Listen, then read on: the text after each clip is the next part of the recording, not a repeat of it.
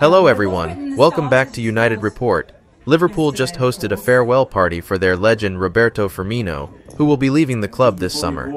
The Brazilian forward arrived at Anfield in 2015, joining in a £29 million move from Hoffenheim.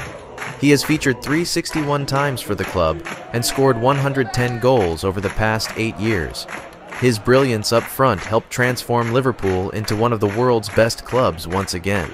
Firmino helped them to seven trophies and was a pivotal figure in their Champions League winning side in 2019 and their Premier League winning team a year later.